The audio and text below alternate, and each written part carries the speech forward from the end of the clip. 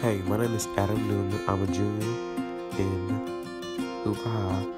I'm here to show basically what I use for my iPhone. My first photo I took was me and my family last summer trip.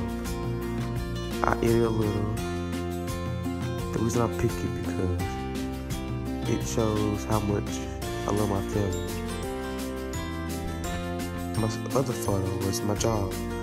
Took a picture last night for no reason whatsoever on my iPhone at a black and white effect mostly and pretty much.